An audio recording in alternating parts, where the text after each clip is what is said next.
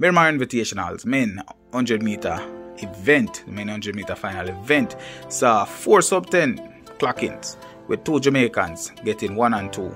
And I think that we have a good duo, young duo, coming out of Jamaica right now, challenging the mighty United States of America.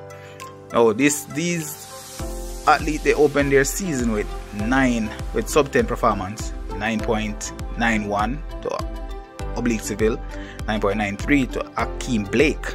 These two athletes building up a rivalry, and rivalry sometimes bring out the best in you. Let's take a look at the performance. Tell me how you guys feel about this one. The men's 100 meters.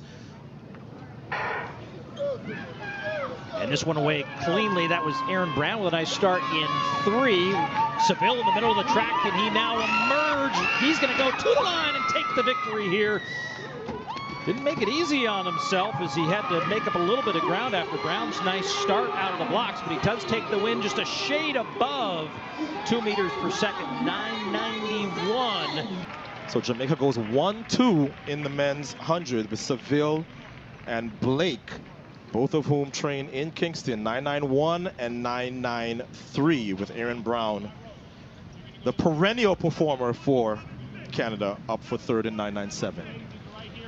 So what was your preparations coming into this meet and how do you feel with that execution of the race? I just came out here to see where I'm at in training.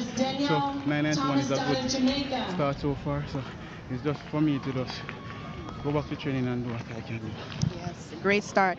Preparations for World Champs, you know, Budapest. So how are you feeling about that? It's actually a great start so far. 991, yeah, it's a good, it's a good run. Good job, Oblique, and all the best for the season. Thank you. Hundreds here, Paul.